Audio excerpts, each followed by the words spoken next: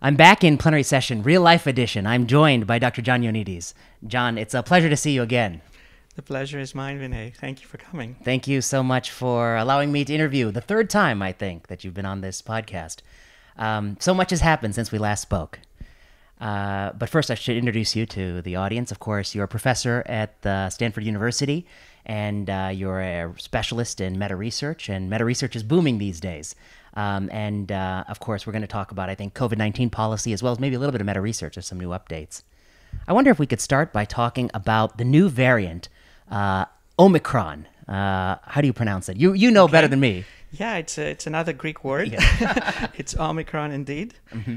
And uh, well, uh, I think that uh, what we know changes every day. Uh, so by the time that you show this video, probably things have changed, uh-huh. and uh, I will seem like a complete fool.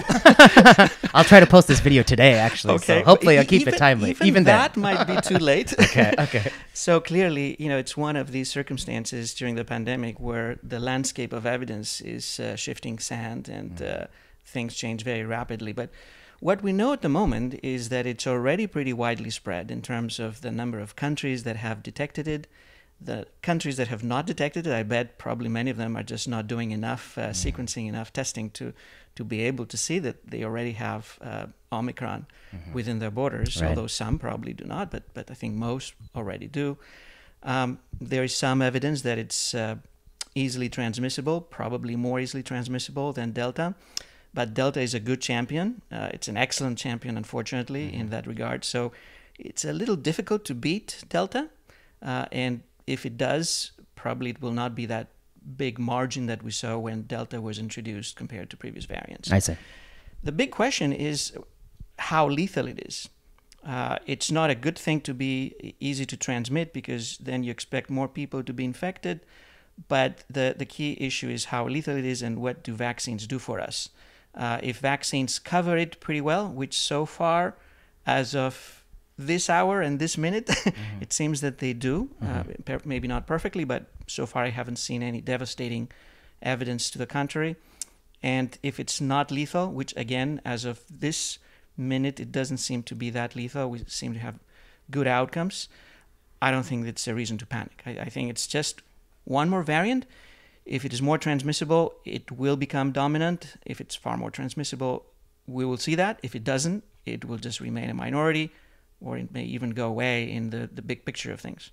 Hmm, that's a, a good perspective. What are your thoughts on, you know, anytime there's a new variant, the first thing I see companies do and laboratories do is try to figure out prior vaccination, what does it do in terms of neutralizing antibodies against this variant? But of course, that is a surrogate against the thing we care about, which is for somebody who's vaccinated, will this variant cause severe disease? How do you think about that surrogacy? Do you trust that as a surrogate? Is it a good first pass surrogate, or do you want to see the clinical data? Surrogates have a, a reason to exist. Uh, they have been with us uh, for decades, way beyond uh, before the the COVID pandemic. Uh, so I don't want to discard them, but we also know over many decades that surrogates are surrogates, and they're often very misleading. Uh, we've been misled in many different fields of medicine over the years. I think that the surrogates we have for vaccine effectiveness, it's early to say uh, how good they are because uh, you really need to have very solid clinical data and long-term follow-up with uh, long-term effectiveness in the population to be able to mm-hmm. tell what you learned from the surrogates and what it told you downstream uh, for one or multiple vaccines. So uh, people need to do this work because it's handy, it's easy to do. You can get it done very quickly, and we need to have some evidence right away. But really, the proof in, in the pudding is is really what we do at, at the clinical level, because what what we care about is saving lives. Vaccines do save lives. I think they have saved a lot of lives. Um, but I cannot promise that the surrogates that we're testing will be good enough to tell us about what will happen with a different variant like Omicron with the next variant. Who knows what Greek letter we will have in mind at right. that time. Yeah, no, I think that's well put. I mean, the evidence I have in favor of surrogacy is really sort of a mistake to call it surrogacy. It was really a correlation between, you know, in the initial set of uh, vaccines, the rate with which they were able to generate neutralizing antibodies had a correlation with the vaccine efficacy against symptomatic disease. But one cannot conclude from that data that 10 months post vaccination, 15 months post vaccination, the setting of a new variant, what that antibody and protection against severe disease relationship might be. It might I, be very I, different. I fully agree, and I, I worry that the more tests become available, I mean, some of these surrogates become available in the market. You know, Right. people can get themselves tested for different types of antibodies and get some weird results of levels and try to interpret them and try to I'm- boost as a result. of Right, course, yeah. and and then I'm sure that uh, we will have other types of immunity testing, like T cell immunity, probably going, Right, coming yeah. downstream to become a market commodity, uh, even though it's more difficult to perform in large scale. And from the very beginning, as you recall, one of the key reasons I, I was attacked in the early days was that I performed an antibody study. Oh, that's right. and I, I was insisting even then that this is just a tool for epidemiology, for a survey at the epidemiological population level, not to be used for clinical decision making by any means. And I, I want to stand firm in mm-hmm. that position even more now because I think that lots of people are looking at these surrogates as if they're going to tell us what will happen to them and whether they should decide about what to do with their vaccination status, get boosters, when, how, and, and so forth. It, I think it's very dangerous to, to use them um, at a clinical level. If not dangerous, at, at, at least it can be misleading. Pe- people can get very wrong impressions about what they mean. Hmm, that's well put. Your thoughts on, you know, it seems bizarre to me that even years later, after the initial uh, uh, COVID uh, concern, um, that in response to a variant, we instituted travel bans. Many nations around the world instituted travel bans. As you point out, that the moment we had identified the variant, it very likely was already in many places. And thus, the travel ban, I think the equation for the travel ban, the potential upside is to marginally change the seed load in a nation by preventing a few more cases, but acknowledging that you already have a lot of cases on your soil. So you marginally change the seed load versus the downside of massive socio political disruption, disruption to the lives of people. How do you think about travel bans? Do they have any role going forward?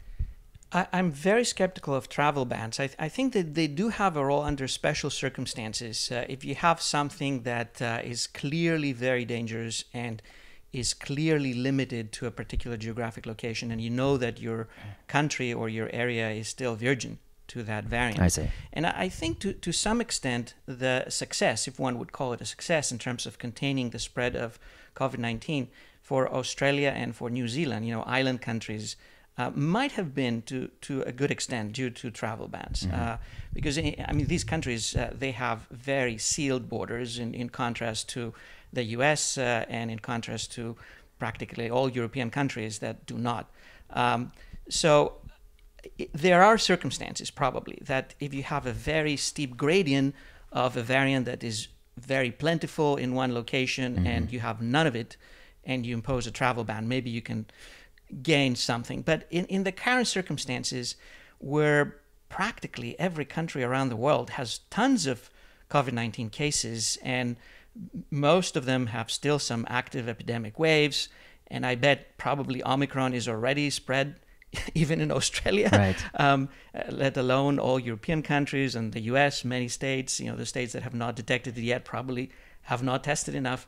I, I, think that it's going to be very difficult to justify, uh, especially prolonging travel bans, Right. uh, unless we, we do see that this is really a very special variant that is very lethal and our vaccines do not work and we need to do our best to contain it until we get Omicron specific vaccines. Uh, and of course, companies are working on them but I, I don't see that so far. Uh, Right. So uh, people want to be prudent, but I, I think that much like other measures, we should always balance what they can achieve versus what they mean in terms of harm, in terms of disruption, in terms of destroying people's lives. Uh, and some of the measures can really be very, very disruptive.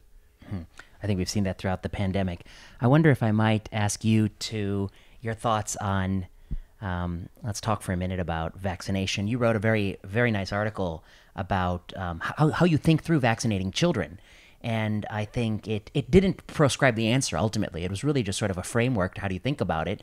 And I think I'll try to say some of the points that resonated with me. One point you made is that um, it will be very difficult to know what effect the vaccine will have on mortality, particularly in healthy 5 to 11 year olds, because as we've seen now in a preprint from Germany, there are essentially no deaths in the whole country among kids who don't have comorbidities. I've seen some people on Twitter say that, um, you know, it's, um, uh, it's discriminatory to treat uh, children with disabilities or comorbid conditions differently than healthy children when it comes to vaccine policies. But to me, I feel like it's always been part of medicine to use the vaccine, perhaps in the type 1 diabetic eight year old who is vulnerable, preferentially over the five year old who is normal weight and not as vulnerable. Use that first. I mean, that's just good medicine. Um, so your, one of your points was that the deaths are so low in this group that you'd have to run a trial of like I don't know seven million people or something to even be able to see a death signal, uh, and you're not able to do that. And in the absence of that, um, your points are we have to think about the pros and cons about the things we can measure, and then the other thing I want you to comment on a little bit is your thoughts on one of the things people say as a justification to aggressively vaccinate the very young is that it may benefit the 85 year old who's already gotten vaccinated. There may be some marginal benefit to this 85 year old, but one of your points was that that's really rather speculatory, and we just don't have evidence in either direction what that means. So I wonder if you might talk about that. How do you think about vaccinating kids and effects on older people? So clearly, this is a hotly debated uh, topic, and I want to start with uh, the statement that I'm very much in favor of vaccines. I think that they have made a, a huge difference uh, I would never tell someone who wants to get vaccinated not to get vaccinated. I, I get uh, lots of very nasty comments from anti-vaxxers, and uh, uh I, I, I, get death threats from different types of people. But I think that, that from all are, over the place. These are particularly yeah. worrisome, yeah. Uh, and I, I think that you know we should not uh, create a feeling of uncertainty to people who are struggling to decide on whether they want to be mm. vaccinated. Uh, but this being said, I think when we're moving to the younger age groups, uh, indeed the the risks are very, very, very low. Uh, both the risks from the vaccine, they're extremely low probably, mm-hmm. uh, and also the, the risks from coronavirus itself.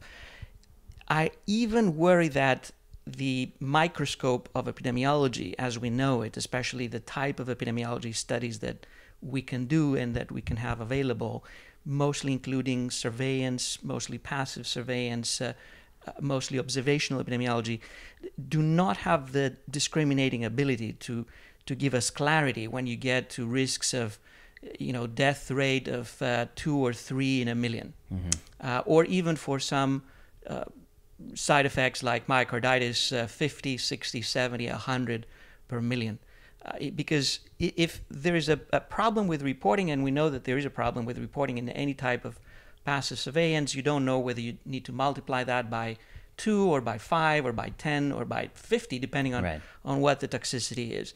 So I, I think we should provide that information to parents. Uh, we should give a consistent message that we don't really see any death signal from vaccines and something that is devastating because I think that there's a lot of literature or actually not a lot of literature, but a lot of people who claim that they see signals, and I, I don't really see them mm-hmm, mm-hmm. of, of, of, toxicity.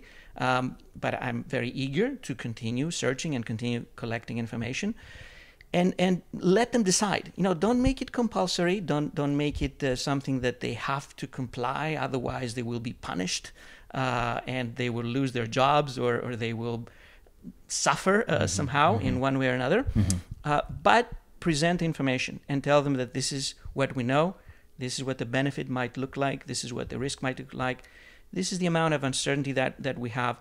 And of course, once you enter the clinical dimension into consideration, like the examples that you mentioned, that modifies substantially at least the, the benefit right. uh, equation because we, we're talking about multipliers of two times or three times or more for each kind of comorbid condition that you have. So you have diabetes and you have heart problems, you have cancer, you have immunodeficiency, uh, you have other conditions that would, uh, obesity, I mean, mm-hmm. a major right. one, that would multiply the risk from the disease and therefore also the potential benefit from getting vaccinated. I, I think all of that should be transparent. It should not lead to debates and to battles and to smearing and to uh, death threats. right. It should just be there for people to know, uh, not be forced to decide. That's well put. Um, I'm going to come to that uh, the compulsion in a second, but I want to ask you a question about the vaccine. Uh, when I watch the vaccine advisory committee, I found that of the many lines of argument, the thing that I found most persuasive was a model that was presented by the FDA, and they modeled seven scenarios. And the seven scenarios said, let's assume different base rates of SARS CoV 2 spread. Let's assume different rates of hospitalization among young kids.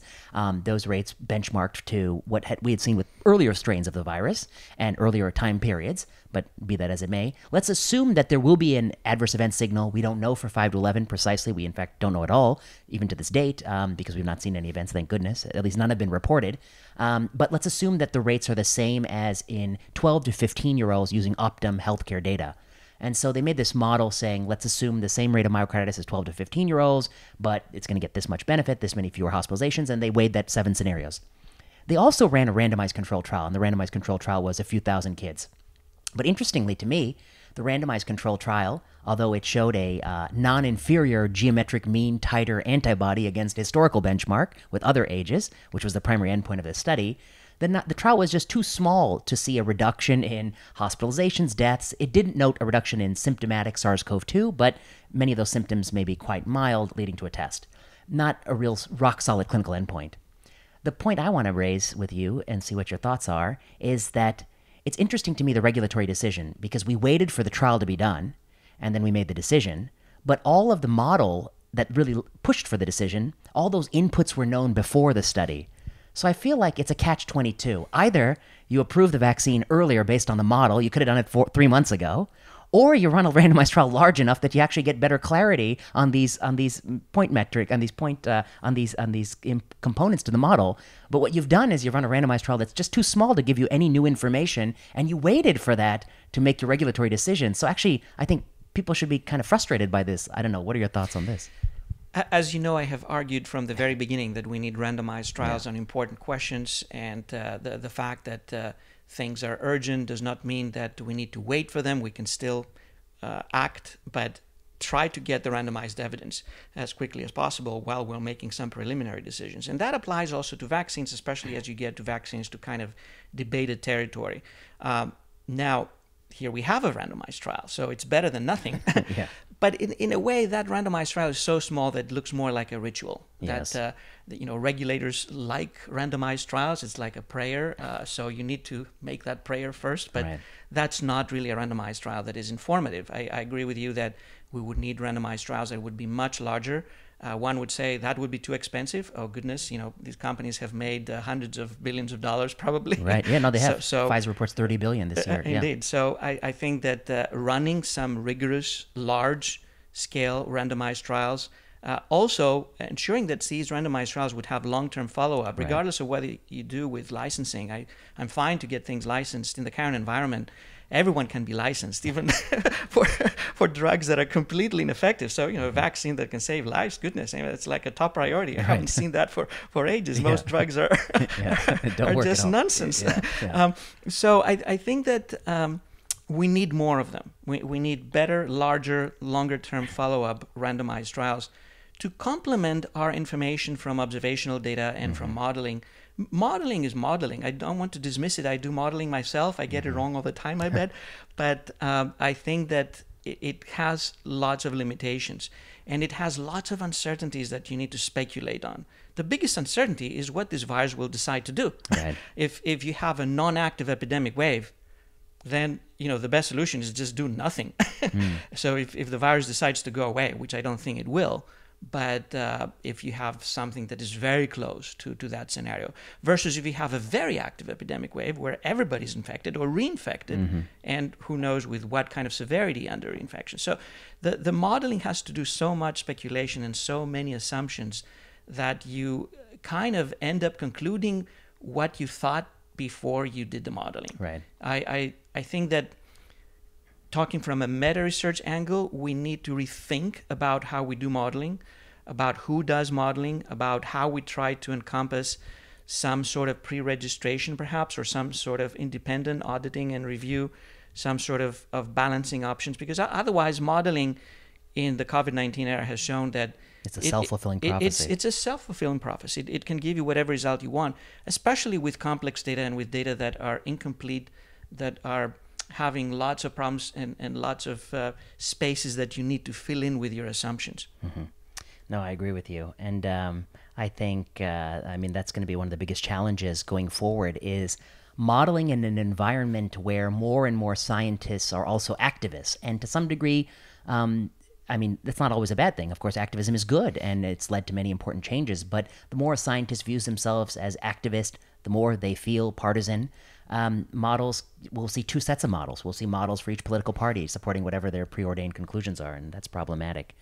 Los Angeles County right now you know, you've talked about, I think, a good, sensible middle ground, which is inform people of what we know and don't know about vaccines and let people make the choice that's right for them, particularly for their children. I think that's always the sensible strategy.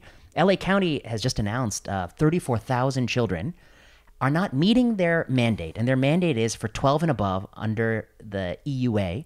You have to get two doses, and I think the cutoff is January 1st, and there are 34,000 kids that are about to be expelled from school. These are kids who have already been without school for over a year because LA was notoriously closed longer than other places. Um, it's even under racial lines, it's not all the same. My understanding is that 90% of Asian Americans are, are vaccinated. Um, it's 87% whites. It's 60 some percent blacks. Um, so it will have a racial dimension to the kids who are being excluded. Um, I guess what I find, inter- I'm curious what your thoughts are about the policy. And also, I'm curious about the paradox I see, which is that Los Angeles prides itself as being a progressive institution championing the underserved and disadvantaged. And I think to some degree they believe this policy is doing that. But I think the result may be actually to disadvantage greater the most disadvantaged people in society who have already lost the most. I wonder your thoughts on this. This is a major problem that has been with us throughout the pandemic. The pandemic hit disadvantaged groups more than the privileged. I was sheltering at home, uh, working on my computer, uh, and uh, people had to be out there working as essential workers for me to to have a nice life. And I, I think that we have seen that at all dimensions. We have seen that dimensions of workplace, education, schools. Measures that were used hit also the disadvantaged more than, than other people. And many people just lost more of their ground uh, compared to the, the average citizen. And it is these people now who are attacked again by different measures.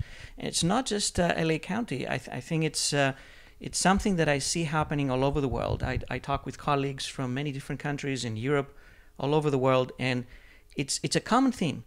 The the people who were hit the most still continue to be hit the most, and people who have remained unvaccinated they tend to be such that we're hit most already.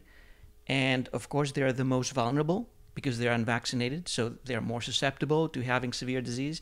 And on top of that, instead of helping those who are more susceptible and more disadvantaged, we're saying we're going to punish you. You know, we're going to make you lose your job. We're going to make you lose your education. We may make you starve eventually. I mean, many of these kids uh, are in the borderland of uh, of having a, a social existence mm-hmm. in a sense. So I, I really worry a lot about that. In, in my view of public health, public health should help everyone, but should help even more those who are disadvantaged. I, I, I may be wrong about it, mm-hmm. but I, I have a sense that public health should also be an instrument to try to correct some of the inequality mm-hmm. uh, that is due to various reasons. I mean, in the US, we have uh, racism, we have other forces that create tremendous inequality that gets perpetuated. In other countries, there's other reasons, but eventually we do get a lot of inequality mm-hmm. and a lot of disadvantaged people around. And public health, for me, should do its best to help these people, not to to, to, to make them even more marginalized, not to, to make them suffer, not, not to make them uh, feel that their life is more difficult because what, of what the authorities do. The, the authorities should try to to do something that would make their life better, not more difficult. I, I see many politicians in Europe now that they go out in the news, and when they're asked by, uh, you know, news anchors, they say, uh, you say, you know, how are you going to increase the vaccination rate in your country? They, they reply, oh, don't worry, we're making these people's lives difficult, mm, uh, and right. they're, they're proud about it. Their their their pride is that they make people's lives difficult, and I, I I'm I'm just feeling completely stunned about seeing this as a goal for for a leader or for public health even more. I find it. I mean, I think I, I, agree with you that they say that, and I think that they sal. I mean, people relish the fact that they're doing that, and people are open about it. That's what we ought to do. I think if I were to put myself in their mindset, they rationalize it by thinking that by doing that, I'm contributing to a net health benefit in this world. I'm doing good. But I think what they have trouble visualizing is a few things. One, um, it is possible that you increase very marginally the Delta vaccine rate by very draconian measures. I mean, if you drag people out on the street and beat them, I mean, you're going to get a few percentage points. You know, you, you, can, you know, you can keep cranking and, up the and pressure. that happens already. And that happens right, you know, for other reasons, right? But you can, yeah, you can, you can, you can get it higher. Um, I suspect, like job you know, if you look at the universe of people in America, these mandates typically hit working class people 18 to, you know, 60 some years old you're not really hitting the 85 year olds who are unvaccinated, who have not yet seen COVID, who are the most vulnerable. You're missing those people, and you don't really have a good way to leverage them because they're really they're retirees. They're out of your control. You know, they're living off their savings. Um, you're hitting one group of people, may not be the group you want to hit, and you may increase it a few percentage points, but there'll be downstream negative consequences, which is a fraction of them will be pushed out of the workforce or the, the school force. Um, they will, their lives will be pushed to the corners of society. They won't be able to come into movie theaters or restaurants. Um, what they do instead in their free time will affect you. If they all gather together and have parties and thwart you, they can spread SARS CoV 2 and brew their own variant if they were to be coordinated. And then the other thing you're doing, I think, is you're creating political animosity towards um, your future. And politics is a long game. You know, you want to do good for people this year, but you need to do good for them 10 years from now and 20 years from now. And if you poison your political future, you'll never be there in 20 years. They're going to hold this against you forever. And I feel like the politicians are not taking into account those factors. I agree that there is um, some some sort of uh, a disconnect between the short-term goals and the long-term goals. Mm. And as you say, some of the aggressive mandates and measures that make people's lives difficult uh, will achieve some short-term gains. I, I, have no doubt about that. If mm. if you're forced to do something, you will do it, but deep in your heart, you will feel some resentment and I think that it's that resentment and it's that negativity and that sense that public health is failing me. Public mm-hmm. health is not doing something for me. It's it's trying to suppress me. It's trying to destroy me. It's trying to to marginalize me. I, I think that it creates a, a schism within society. It it creates separated groups of people uh, who hate each other, uh, who hate authorities, who hate politicians, who hate uh, physicians who hate scientists, who hate science eventually. And I, I think that this is the least that, that we want at the moment. Uh, it, it creates, unfortunately, a loan that will be very hard to pay downstream.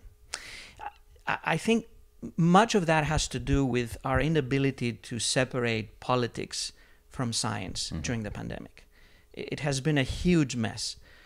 Um, politics you're happy if you can get 50% of the population to agree with it. Mm-hmm. Sometimes mm-hmm. you can get elected even with, with a less. bit less. yeah. um, if you get 50%, 50.1%, that's that's amazing. But then, uh, you know, 49% uh, is angry with you, is infuriated with you in a polarized environment. Uh, they're crazy against you. In science and in, in public health, that political success would be a complete disaster. Mm. Because you have that 49%, which doesn't need to be 49%, it could be 30%, it could be 20%. It's a huge number of people who lose their trust of, of science, of public health, of, of what you're telling them that is best for them. You know, they, they, they feel that you're cheating mm-hmm. them. I'm telling them get vaccinated, and they say, you know, John probably is bought by who knows Pfizer, or right. or he, he belongs to that party, which sometimes is a right wing or other times a left wing. Depends on the country. Depending on the country yeah. that I speak. Yeah. sometimes I belong to different parts of the spectrum, even though I don't belong anywhere. Um, and and they just put you in in that bin, and then they decide that no matter what happens, you're their enemy, and science is their enemy, and they need to fight science because it's suppressing them. That's that's the, the most horrible recipe. I think that countries that have done best are those where politicians just moved away from from the scene or you know tried to be as quiet as mm-hmm. possible mm-hmm. of course you know they, they will always debate in the parliament and uh, in congress and houses but um, they just tried to move away from the public health communication and messaging and you just have public health people who everybody understands that they have nothing to do with right or left or, or middle or you know, Republican or Democrats or, or whatever you have in, in different countries, trying to do the communication and uh, trying to convey the message that I do care about all of you. I'm not trying to create separate groups of people. I'm not trying to create uh, citizens of rank one and mm-hmm. citizens of a lower rank. I'm, I'm just interested in all of you. And we have a common problem. Uh, let's try to solve it together. And we're all in the same boat. If it sinks, all of, the, all of us will drown. You know, mm-hmm. some of us probably will drown first, but eventually all of us will drown. Right. Uh, and, and you mentioned the example. I mean, all, all the marginalized people, they lose trust to all interventions eventually.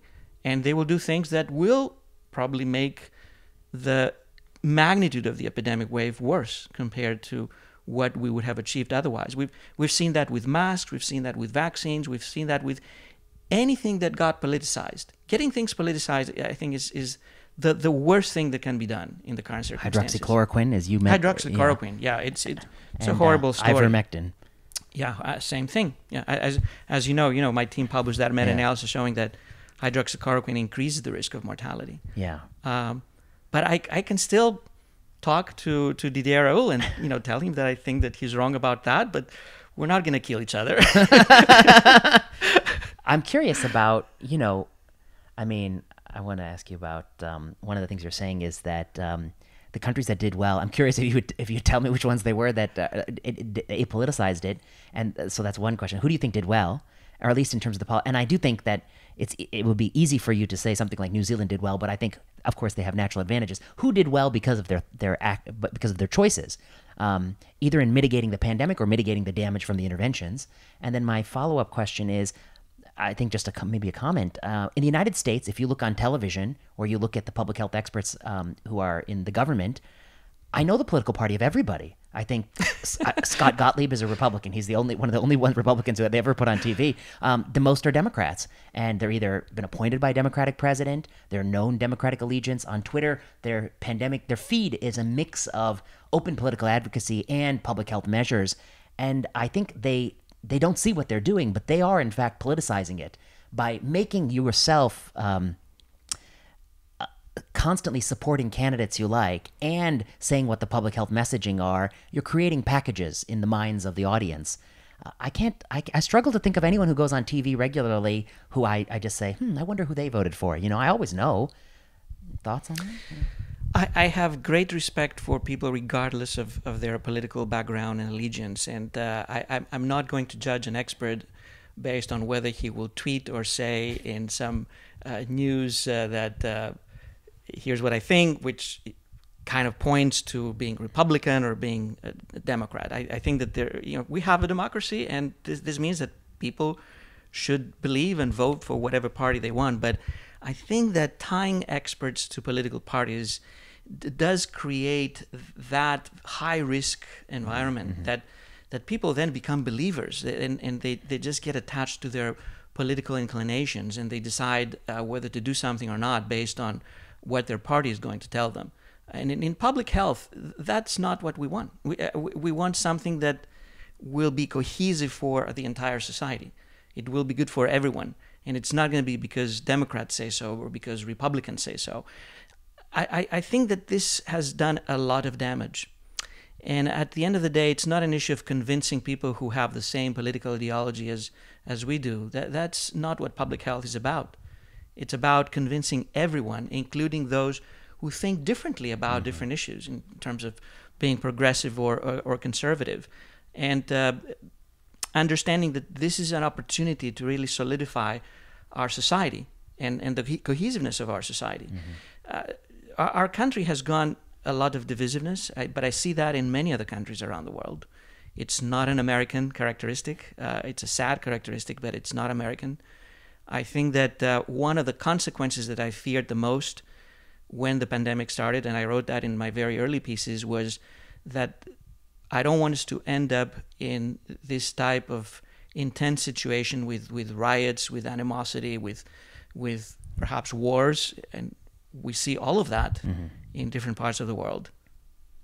I think that's that. Uh, many of the things that uh, that you had alluded to in that original writing, I see, are coming more and more true by the day, and I think more people will see that with time. I want to talk to you about Bangladesh cluster randomized control trial. Now, you know, of course, they're the two major randomized control trials on masking. I wish there were more, of course, and I know you do too. Uh, we have DanMask. Uh, DanMask, of course, was powered for a 50% reduction in individual acquisition of SARS CoV 2 um, from receipt of a box of surgical mask and instruction to wear surgical masks in Denmark over a period of time in the summer of 2020.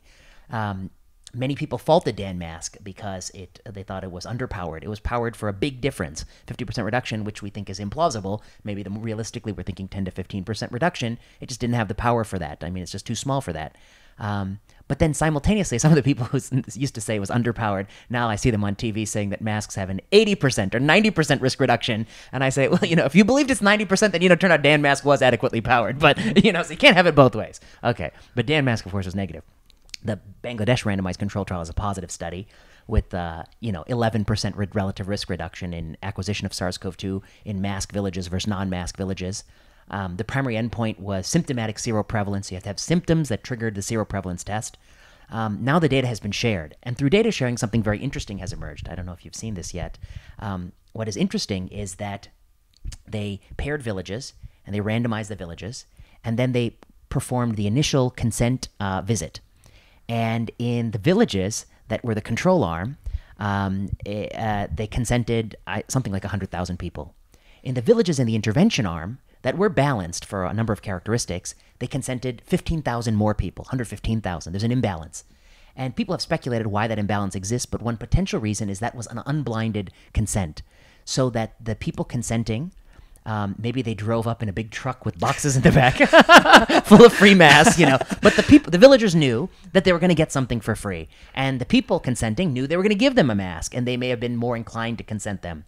So, although randomized, this is, a, I think, a key bias, which is that you're consenting some people on the margin who wouldn't have consented if you weren't going to give them anything, but they are going to consent if you do give them something. Then they go forward and they find, you know, a certain amount of symptoms are reported. And then among people who gave blood after symptoms, which is, you know, every step of this they lose people. But among the some 4,000 people in both arms that gave blood, the rate of testing seropositive is exactly the same. It's like 23.04 23.24%. It's the same rate of seropositivity. But the denominator they're using in one is 15%, it's 15,000 bigger than the other, which gives them the statistically significant finding on the cusp of significance, by the way. So some people point out that which is which is the answer? Is the answer that the mask worked 11%? Or is the answer that you consented more people who are on the margin, and those are not the kind of people who are going to report symptoms were they to have symptoms at all? And it's not really a, a, a, an, an unbiased randomized trial. So I wonder your thoughts on this and your thoughts on this very controversial. No, no trial is, is perfect. And I think that the, the Bangladesh study was a heroic effort. It was done by amazing scientists. I know some of them. Uh, some of them are at Stanford, actually. Uh-huh. I have great respect for them and I think that it was an important study, and I, I wish we had more of them. Right. I, I, wish we had more also of the of the Danish uh, study. Uh, instead of having these two, I would like to have ten or even twenty because it's it's a key question. It's something that people have been debating and have been very angry about and have been almost killing each other uh, for the last couple of years. So I wish we had more. But what I see based on these trials is two trials with very consistent results with with a benefit in the range of something like 10% relative risk reduction, my interpretation is that masks do work. They do reduce the possibility of transmission. In real life, probably in the range of 10%. Now, could you have an efficacy that is higher? Of course. I mean, if, if you have the perfect mask with the perfect uh, mask uh, wearing procedures and with 100% compliance in the population, and also people being isolated uh, in their refrigerator or in a closed room uh, rather than meeting anyone. Uh-huh. Or you know, now we would be talking, we would be not only wearing a mask. Uh, goodness, we're very close. Uh, be nervous, be nervous. Yeah, yeah. but I will run out of, of the camera. Yeah. Uh, and yeah, I have to sit close. And. Um, uh, you know, then then we would get close to 100%. You know, if, if you yeah. avoid all exposure, but this cannot be done. Correct. So I, I have always been in favor of masks because I think that they're an easy thing to do, mm-hmm. and uh, I I never really believed that they would be 100% effective. And I, I always worried that people probably were over trusting the fact that they were wearing masks Yeah. and uh, probably exposing themselves sometimes. A little bit sometimes in more. Circumstances that they would be infected, but they thought that the mask would just take care of this. Um, so th- the results of these trials are pretty congruent with, with my bias in, in a sense, and I, th- I think that probably they do work, uh, not eighty percent under real world circumstances. May, maybe under certain conditions you can get a bit more than ten percent. Maybe in some subgroups you can get a bit more, but in others maybe you get less. I mean, there was some age stratification that suggested you know bigger benefits in older individuals, if I recall correctly, in the Bangladesh trial, and Right. less or no benefit in younger. Right. Um, so, as I said, no trial is perfect. I, I, I'm willing to take that number and run with it, that 10%, 11%. Now, what does it mean in terms of policy? You see that different countries decide very different things about it. I, I was in Europe uh, last two months uh, for a series of, of lectures uh, over a month, and uh, every place I went had a very different policy. Each time I had to ask, What are you doing here? Yeah. Right. and sometimes masks were everywhere and some other times no one was wearing mask i would Mm-hmm. i would seem stupid if i tried to wear a mask uh, even though i do believe that they do Right. work What do you think? Um, both of these randomized controlled trials were done in a uh, immune naive population. Both zero prevalence at baseline was low and vaccination was low. Mm-hmm. Yeah. Now we extrapolate to San Francisco this month. Effect size is going to go down. I think that that applies to any sort of intervention once you get to saturation. Right. and uh, of course saturation is uh, probably dynamic because you have people who lose their immunity over time. And a very important question of course is to see how quickly that immunity is lost with different types of immunity induction you know natural versus vaccines different type of vaccination schedules. Uh, but indeed i mean you know once you have a saturated environment if you have for example a perfect vaccine and if Right. masks are 100% effective but everyone is infected then they will seem as if they have no benefit at all Right. Right. uh, which which sounds very weird. And is that unrealistic? I don't think it's unrealistic because uh, my estimate is that probably we've had something in the range of four billion infections around the world already. Half the global population. A global population, yeah, I, and many people probably have been infected twice uh, already. So you know maybe three plus billion infected once, and who knows, half a 1000000000 plus infected twice. Uh, this is very speculative, of course, but uh, but in my, some countries it's even more than that percentage, and of course some others are still in lower numbers. So so the the level of saturation does make a difference in terms of what measures you want to use, and uh, whether their effectiveness will remain the same or will be higher than you have seen in some trials or be lower. The good news is in, in this country that the places with the highest vaccination also wear the mask most religiously. So that's the good news. The good. But I want to ask you about the passive versus active surveillance of harms for vaccines. Somebody sent me a very interesting study. You know, one of the um, as part of the original um, appro- uh, as part of the approval of the Pfizer vaccine, they're under post-marketing commitments to generate safety data. One of those safety studies is they have to take a cohort of kids or adolescents and perform troponin levels on them. So we know myocarditis as it's being co- collected. First of all, it's collected at many downstream of everything. Is there a doctor who has the wherewithal to report it? But of course, the person has to have chest pain that has to prompt the evaluation. Then they have to go in and potentially get diagnosed with the problem. That means somebody has to chest, check something an EKG, a troponin, uh, cardiac MR, uh, and then they have to be often hospitalized for observation, um, and it has to be reported but this will just actually collect the information. Somebody sent me a very interesting study about um, a prior vaccination, a smallpox vaccine, um, and they tried to estimate the, the what's under the, the iceberg of uh, subclinical myocarditis, and it was it was forty to fifty fold higher. I mean, it was substantively higher. Um, so I guess I'm curious. Um, I mean, one question is how do you think about passive versus active surveillance? But isn't a bigger, uh, separate from the entire pandemic? I feel like we need a, a we need a whole new system to actively surveil people who get any drug or any vaccine, because I think we're really missing a lot of adverse events across the board. This is true, and, and adverse events have received little attention compared to effectiveness in all of clinical research preceding COVID 19. It's not a COVID 19 feature. I think that, if anything, probably we did a bit better than average in terms of trying to collect information on harms on COVID 19 interventions compared to what we were doing all along. As you recall, some of my earlier work uh, when I started working in evidence based medicine themes was related to the importance of recording harms of interventions. And a JAMA paper uh, more than 20 years ago, we looked at how much space was devoted to reporting of harms Mm, in, in uh, papers of, Mhm. of randomized trials. And the amount of space was less than the amount of space given to author names. uh, this has improved a little bit. Mhm. Uh, there have been many efforts. Uh, uh, we have come up with guidelines uh, and recommendations like harms reporting uh, in CONSORT. Uh, we had a paper in 2004 that we have revised the guidelines and we will be publishing that hopefully soon, trying to draw more attention to the need of both collecting and reporting and disseminating information on harms more reliably. And when it comes to reliable information, obviously active versus passive surveillance does make a huge difference because you, you don't know exactly what is the multiplying factor. And uh, the, the uncertainty can be huge. It could be times two or it could be times 50, as you mentioned, depending on the type of adverse event, depending on the setting, depending on how aggressively the, the population has been sensitized and, and how likely they are to report Or what they have- desensitized. or desensitized. Uh, again, you know, you know, reporting a an adverse event may become like a political statement, Right. Yeah, yeah, which is yeah. com- completely crazy I mean, to, to think of, the, of this this way. Um, so I, I think that uh, we need studies that are more carefully done. We need studies that are more in depth in collecting information, that are more active in collecting information. And here I want to add an asterisk. These studies that are very much in depth and, and you know very active and very detailed and, and very aggressive in collecting information may reach the point of being even more misleading sometimes. Hmm.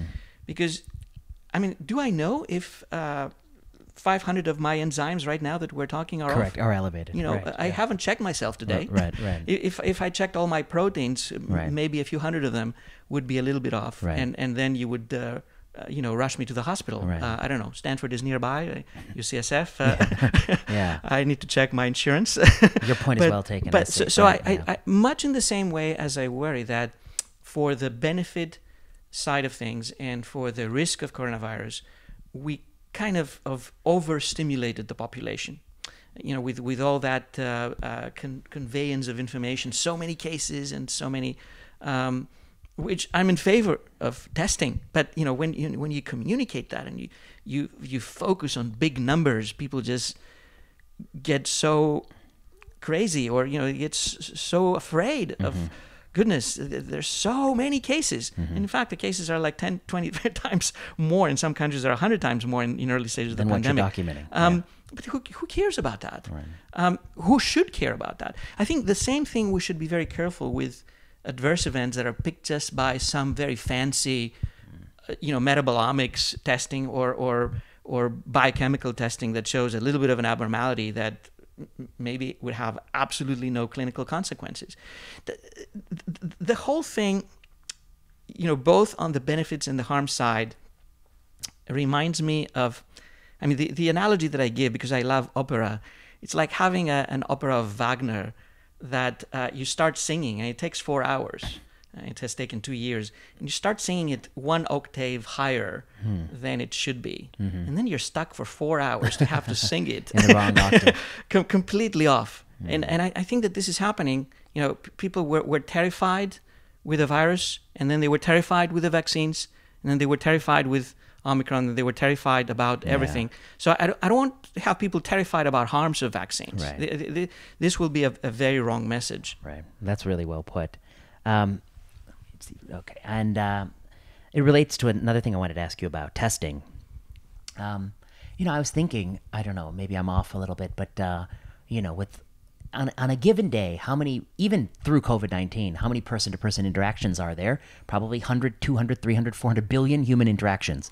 You and I interacting, we're going to interact in a minute. I'm going to go to get some gas, you know, all these things, interactions.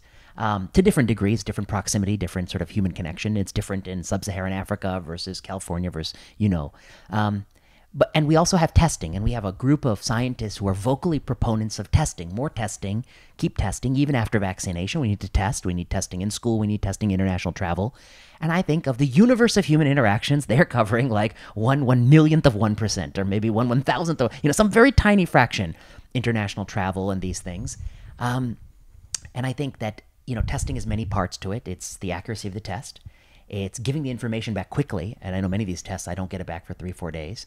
It's actually getting the information to the person. I suspect some of these testing companies know that there's some people never phone back to get the test result. I'm, I'm sure they have that internal data. They don't want to share that. Um, once you get the information, you have to be able to do something about it. If I use a rapid test that f- I feel sick and I test negative, I might go meet my grandmother, even though that's a very high risk activity because um, I was actually positive. The test was wrong. Um, conversely, I might use it in a good way and stay home when I should uh, go out. And I guess my question is I don't know, at this point of the pandemic, with as many people have been infected and as many different places the virus has gone, is there a role for testing? Uh, maybe perhaps nursing homes or some high risk situations. Uh, is there such thing as over testing? Is testing a magic answer? Uh, what about travel? What are your thoughts on this testing question? Okay, that that's a very tough question, and I, mm-hmm. I can give different answers. Okay. Because because I think that uh, different answers are appropriate for different settings and, and different circumstances. In, in, principle, I'm in favor of testing, and uh, in the very early days of the pandemic, one of my key arguments is that we need more testing. Right. And, and back then, we were doing very little testing. Unfortunately, in this country, things went really bad because our testing capacity was horrible. CDC just uh, didn't succeed in getting a good testing uh, procedure uh, established, and uh, we, we did very little testing. And that was true in many other countries. My heroes in the first few months were places like Iceland, places like South Korea, that were doing a lot of testing. And this meant that they could really find out where the virus was going, who were the infected people, who they had infected, and really achieve very good results. And these results continue to be extremely good. So in principle, I believe that if there's one piece of our modern science that we could throw in, uh, especially before the advent of vaccines, that was testing rather than lockdowns and you know just shutting down everything and closing schools and uh, just destroying everybody's mental health.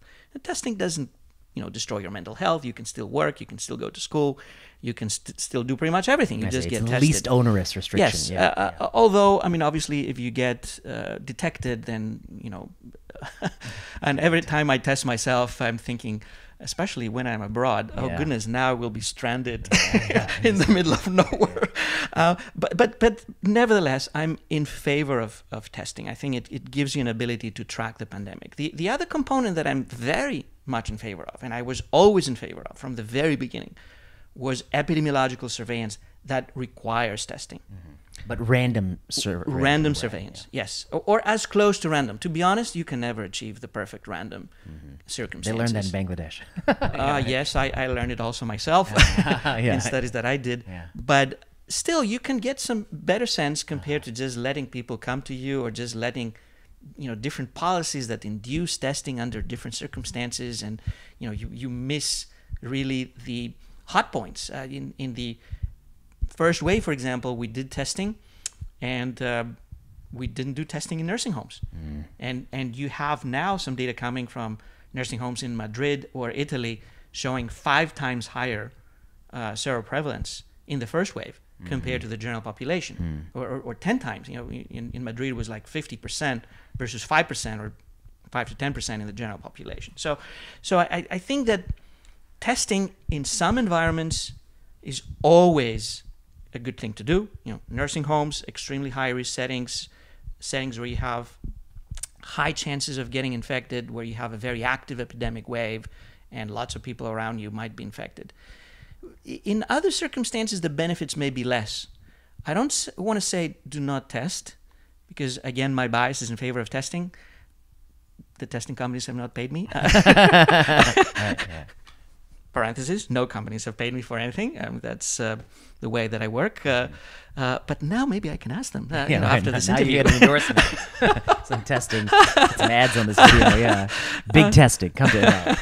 um, no of course not Of course not, Uh, yeah. but uh, i think that once we move to a different environment we need to think about how does the pandemic end and how do we move the, to the endemic phase the endemic phase means that we don't have more deaths than we can tolerate and what has been the case before Mm-hmm. COVID 19 arose.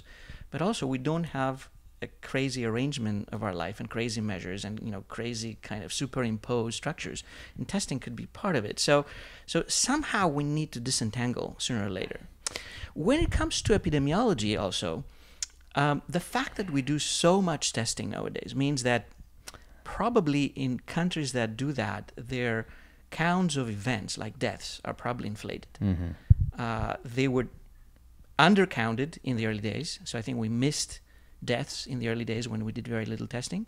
And in some countries that continue to do little testing, they're still undercounting. But in countries that, that do massive testing at the moment, and we have some evidence, we, I mean, even in California, we had Alameda and Mm-hmm. Santa Clara that revised their death counts Right. down by 25%. Correct. I have some data that we're generating from uh, Germany with colleagues, and hopefully we will publish them as well. I see. I hope. Uh. You mean you'll ascribe deaths to SARS-CoV-2 that are not due to SARS-CoV-2? They just happen to be picked indeed, up. Right. Indeed, and and I, I don't want to come up with a conspiracy theory right, no, here. it's just we, we need very careful audit of data to try to understand exactly what happened Mm-hmm. and how the testing result uh, corresponds to the clinical picture eventually of uh, someone who died I think or it's someone who was hospitalized. Yeah. I think it's important, and I think that um, you know we don't do ourselves any favors by not being able to think about this objectively, as I think some people are very scared to talk about. But um, you know, attr- attributing death has never been easy. It's always difficult, and and if testing is applied in an uneven manner or in a very aggressive manner, if there is incentive to finding positivity, then of course it will be there'll be misattribution, and it can be misattribution both directions, and sometimes both directions simultaneously, you know, at the same place. Excess mortality, I know people put so much stock in, but it is also very flawed because excess mortality depends on the counterfactual world where you are all doing the same things you would be doing. And so if you disrupt all of society and you start to look at excess mortality, well, no one is taking their bicycle, no one's going on bicycle, no one's going on for commuting and driving and going to work and getting the stress of waking up in the morning to go to work. And so I don't know what to make with excess mortality. I think it's such a blunt instrument. I, I published a paper in the European Journal of Epidemiology uh, several months ago, specifically discussing overestimation and underestimation of deaths. And I also tried to discuss issues of excess deaths and how these relate to the uh, pandemic and COVID 19 related deaths in, in particular. So the, the paper has a pretty elaborate mathematical model that goes behind the, the reasoning and you can use it to uh, get an estimate of whether you have under or overestimation of death under different circumstances. There's lots of factors that go into this calculation, including the amount of testing, but it's also the background mortality in the population. It's the definition of the window of when you count a death as related to COVID 19, uh, the infection fatality rate. So, so there's multiple factors. And that means that you have some uncertainty uh, in terms of being able to tell who really died uh, from COVID 19, you need very much in depth auditing, and death certificates are one level, but ideally you need to go even Deeper. deeper mm-hmm. into medical records, and even medical records are flawed. And, and we know that way before the pandemic, mm-hmm. that death certificates are, are very unreliable. Mm-hmm. They're mostly kind of you know documents that someone needs to fill out at uh, two o'clock after midnight when someone dies and they do their best. Right. but we know that people don't fill out death certificates with high accuracy. Medical records you're an active clinician you, you know what a mess they can It's be a mess. um, they, they have always been so. It, it's not that someone is having a conspiracy for Right, covid-19 right. so you, you really need to look very much in depth. When it comes to excess deaths excess deaths are a composite of multiple factors. They're, they're covid-19 then you have the indirect effects of covid-19 so if, if you have a health system that is overrun mm-hmm. by covid-19 uh, for a good reason or for a bad reason then you have many other diseases that mm-hmm. get completely mismanaged or you cannot manage them or people you know would die of many other things or they do, would not get the best care that they should Right. so you have that added layer Right. uh, or other types of indirect effects Right. and then you have all the direct and indirect effects of the measures that Of you the have taken restrictions, right? Yeah. the restrictions and you know some of the measures are, are really devastating and many others probably are just beneficial I'm not trying to say that you know all measures out of the 12,000 measures that we no. have thrown at this beast uh, were detrimental. Some probably were beneficial, others were detrimental, some were very detrimental. But I think the, the most draconian ones probably were pretty de- detrimental. Mm-hmm. So you need to factor all of those into account and then add more modeling um, about time series of mortality, mm-hmm. which is a very difficult thing to do. Why, when, what do you mean by time series? That you need to, to track the ah. mortality trends over time yeah. in the same location, same country, yeah. and and this has a lot of uncertainty. You know, some countries uh, may have five, seven percent differences in mortality from one year to the next. Mm. For no reason, right, you know, impossible to to explain why. I mean, if I you see. start looking, you can start speculating. You can say it was this or it was that or it was I a combination see. of multiple things. So we need these data, mm-hmm. but we have to be very careful to say that excess deaths are going to tell us what COVID 19 did. Mm-hmm. Excess deaths are going to tell us what COVID 19 plus indirect effects plus we did. Mm-hmm. Probably mm-hmm. mostly will tell us what we did. Nice. That's what I wonder about. Um, no, your point's well taken. I mean, even before COVID, of course, in the cancer screening debates, there's so many randomized trials, and many of which are negative. And you know, you've done some nice meta-analysis on that, and I've been interested. And many years ago, I asked this student of mine, a resident at the time, Joaquin Chapa. I said uh, a lot of people were using population statistics to indirectly infer the effectiveness of screening campaigns, and in doing so, they were using death certificates. And so I asked him, like, when I read that you know there's a reduction in 15% of prostate cancer deaths in America over the last 10 years, how do they get that number?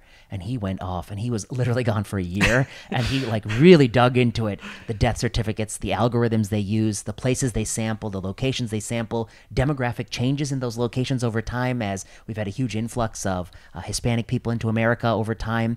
Do they adjust for some of these things? They're not adjusting for some of these uh, changes in population uh, demographics they're not adjusting for. Um, how do they treat the death certificate? How if something says they had a pe and prostate cancer and alzheimer's disease which was the cause of death the algorithm has changed over time. And by the time he came back to the end he said it's like you know it's like it's like knowing how the sausage is made. Once you really know how it's made, you don't want to eat it anymore. You know, like he just didn't trust the statistic at all. And that was sort of what we wrote about. Um, but it wasn't easy to get to the bottom of these statistics. They're very I, opaque. I agree, and as I say, I'm I'm trying to work on that front, and I have some ongoing studies. Uh, I I hope that we present them with sufficient nuance because nuance is really indicated when you present this type of data. But um, it, it's not easy at all. It's not easy at all. It, it, it sounds weird. It's about death. Right. The I most mean, objective thing in the world. It, the most objective thing. I mean, it's not like 20% uh, yeah. you're dead and 80% you're alive. yeah. Uh, but counting deaths and especially attributing deaths is, is extremely difficult. Uh, you need to take multiple factors into account. Many of those you're not even aware that may be determined at the local level, mm-hmm. based on policy level, based on kind of instructions or the microenvironment, what people say or or what people are, are trained to do in filling out certificates. Uh, it, it can be extremely complex and extremely convoluted. But uh, I, I think we need to do that. We, mm-hmm. we need to just go back and look very carefully to, to try to get the best estimates possible. And of course, keep tracking excess deaths because uh, that information is, is like the, the final bottom line mm-hmm. in a mm-hmm. sense, mm-hmm. not just for COVID 19, but for for everything that happens to us. Mm-hmm. And uh, I think it's good to know that mm-hmm. in the last two years, probably we've had, uh, I don't know, 300 million people who were born and uh, mm-hmm. uh, maybe 120 million uh, who died. And mm-hmm. some of them, 5 million plus, have a COVID 19 diagnosis attached to them. But there's many others falling in different bins. Uh, right. S- some, some of the most important bins probably we, we ignore. Mm-hmm. Um, to give you one example, uh, I was looking at the, the data for, for Greece, mm-hmm. and Greece had a very sharp spike in the middle of the summer. And uh, that was just at the week that there were some very bad fires, wildfires mm-hmm. next to Athens, which has like half the Greek population. Mm-hmm. Inhaled smoke. And and we had a tremendous spike that was far worse than anything that coronavirus did. Mm-hmm. And the government was very happy because they evacuated all these areas. But probably far more people died just because of the combination of heat wave and toxic inhalation during mm-hmm, these days, and mm-hmm. and that was just it know, may not, precipit- not not even mentioned. Right, and it may precipitate things they don't think of as attributable, like heart attacks or stroke or something. Of, of course, right, yeah. of course. Now I'm wondering your thoughts on. Um, you wrote a paper on this, um, a very interesting paper comparing I don't know. You you've done a few pro- projects of this comparing char- the scientists who are on television who signed documents. I wonder if you talk a little bit about you know the, the media is interesting. They have the universe of scientists to choose from. They choose some scientists. They cover them. Um, and people have pointed to some disparities uh, in terms of how many men are coming on TV, how many women, and some other characteristics you've explored. I wonder if you might talk about that research. So that was a paper that I, I really enjoyed uh, uh, working with. I, I, worked on it with uh, Reshma Jagsi from University Michigan. of Michigan and a medical student also from the University of Michigan. And um, we we wanted to see who are these people. Mm-hmm. They're so visible. Yeah. Uh, they appear all the time in, yeah. in the news. They shape our lives. uh, they tell us what to do. Mm-hmm. But uh, what is their background and uh, what do they know and uh, what have, have they published uh-huh.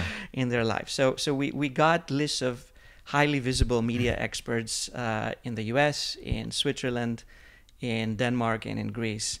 And the common denominator was that number one, women were underrepresented uh, we could not see in uh, ethnic minorities and, and racial background, but I bet that that was also a major uh, imbalance. Mm-hmm, mm-hmm. but unfortunately, we couldn't look in, in great detail. And many of them have never published anything on COVID 19. mm. uh, and also, many of them have very limited scientific impact in their whole career. Mm-hmm. Uh, there's exceptions, and there's many that have great scientific impact and many that are very active uh, COVID-19 researchers. So it's not like a black and white, but but there's many people who are very prominent in the news all over the world who have published nothing and have very little in terms of scientific credentials that would make them relevant for what they're talking about. Now, does it matter? Do you think it like? Oh goodness! What What do you learn by publishing that you don't uh, learn by reading?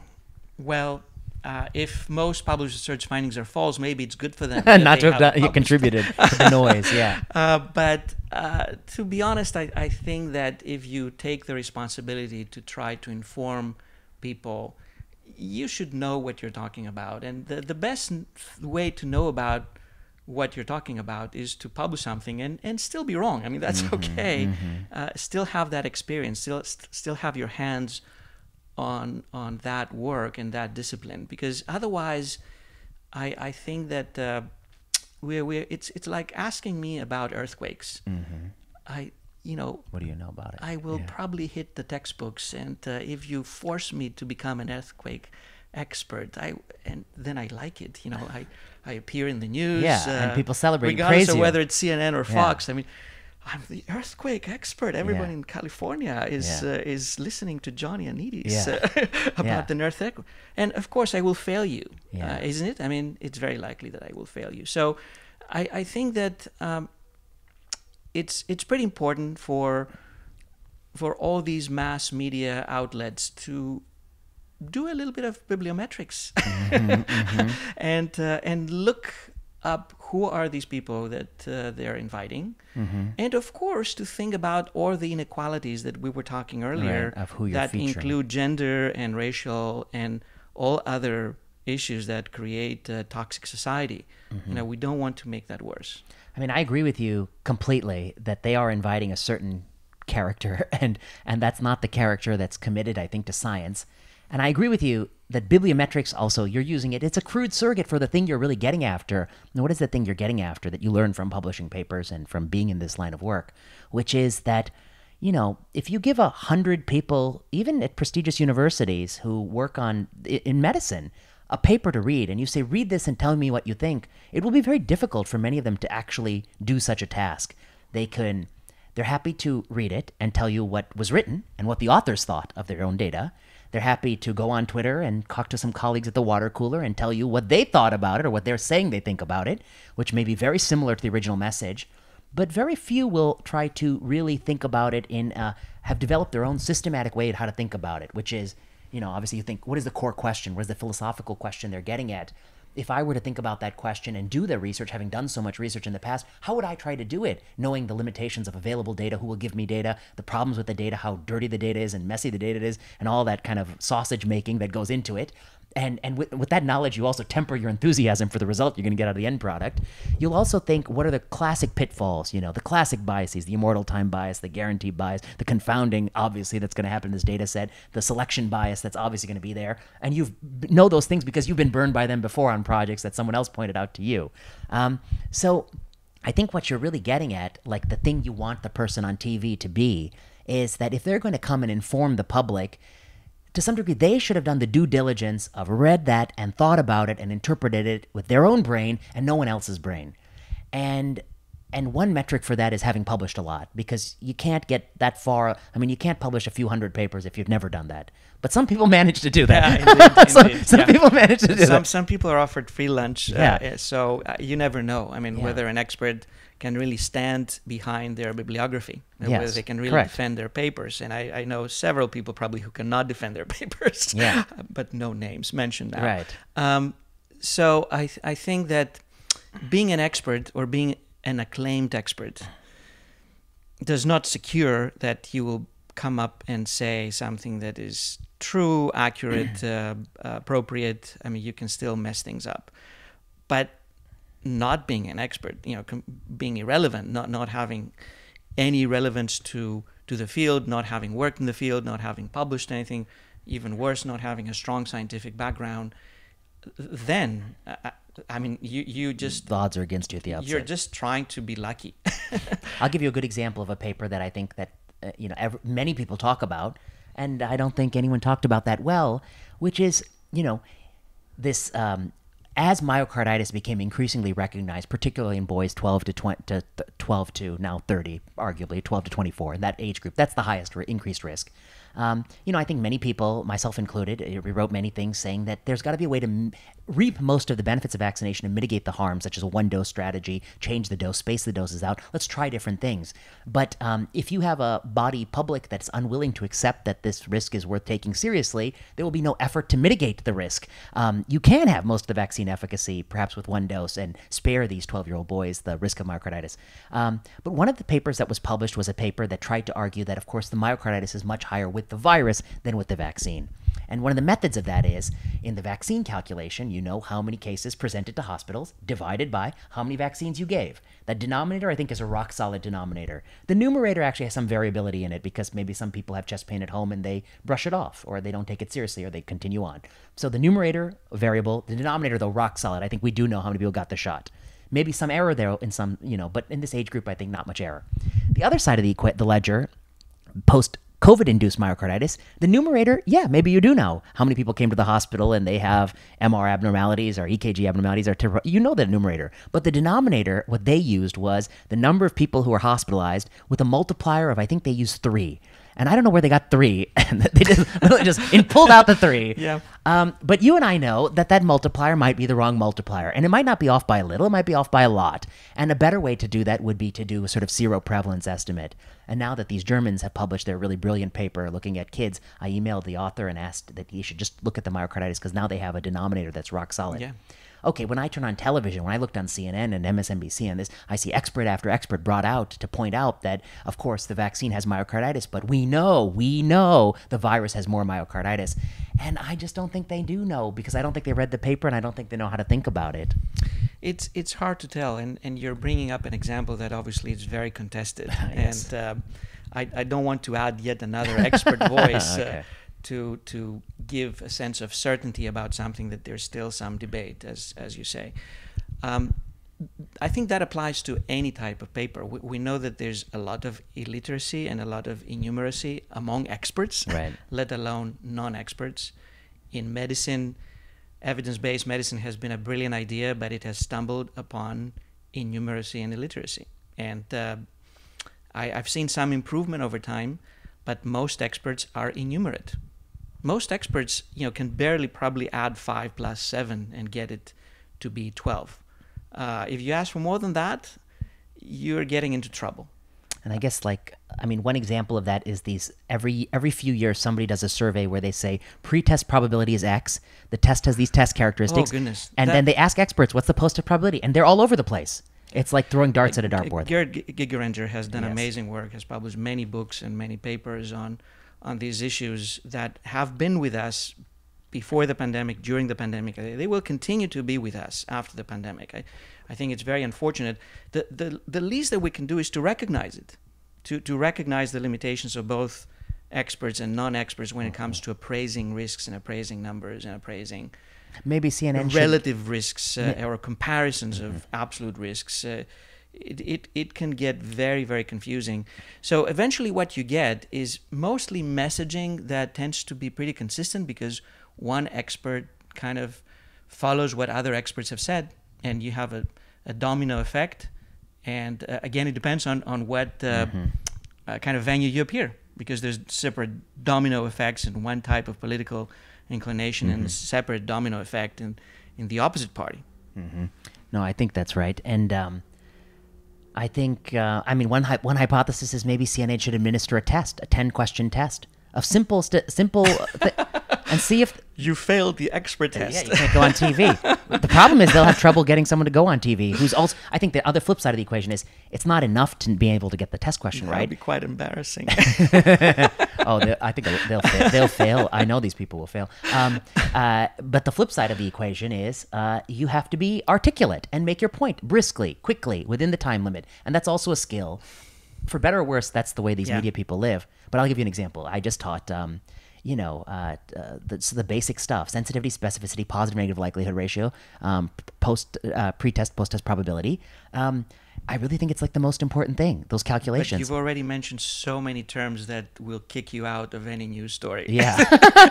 yeah, because it's not dumbed down. Goodness, I mean, you know, Yeah. six technical terms Yeah. that uh, are understood by zero point something percent of the Yeah. population and maybe a couple of percent of experts.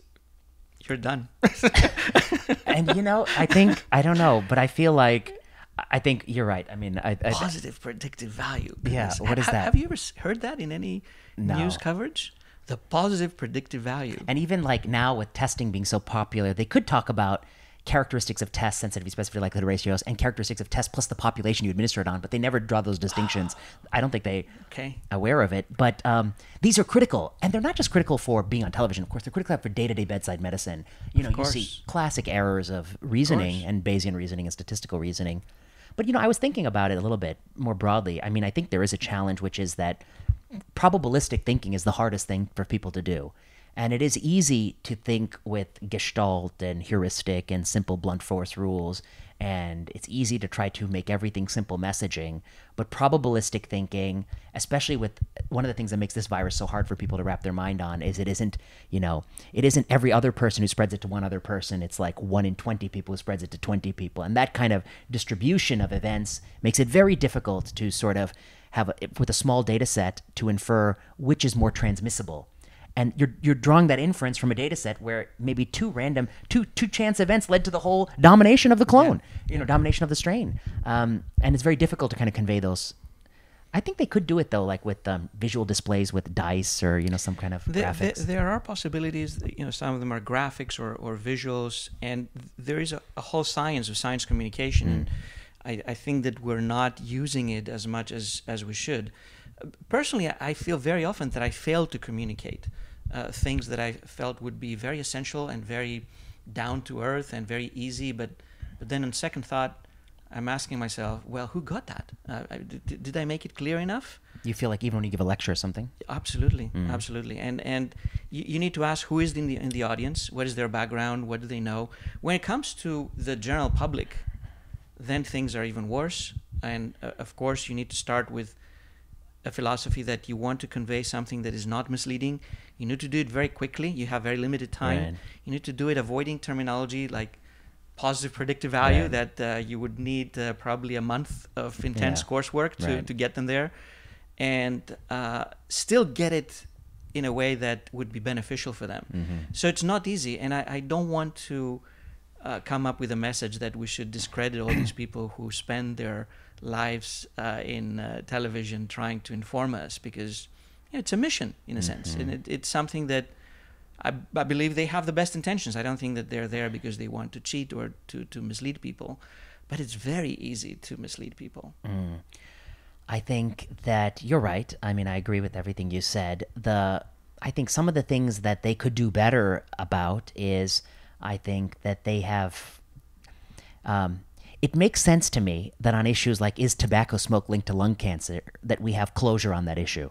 It is. Yes, odds ratio 20. Done. Move on.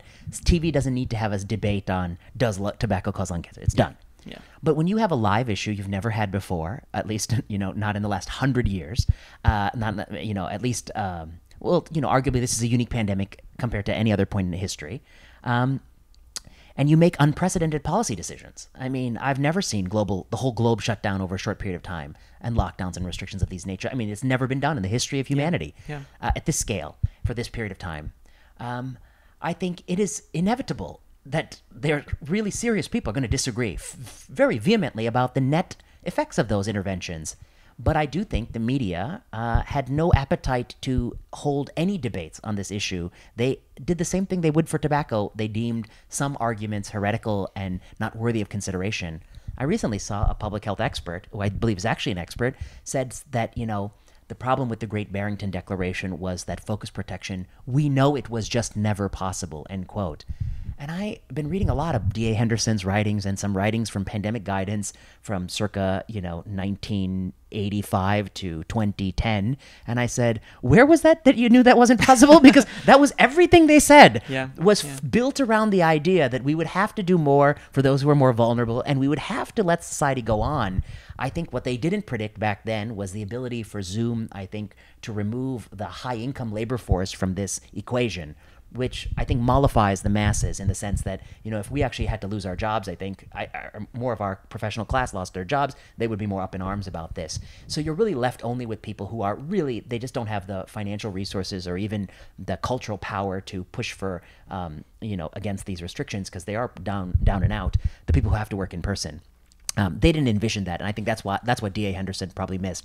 If D.A. Henderson were alive, I think he would be you. I mean, I think all your policy positions throughout this pandemic, he would be very close to where you are, and he might have even signed the GBD. He would be close to Jay and Martin. Well, we we need to reach out to him, and as you know, that's impossible.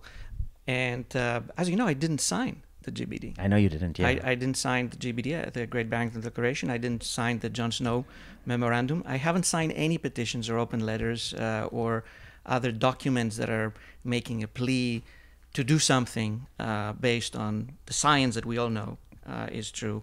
And I have colleagues on both sides of, of that equation.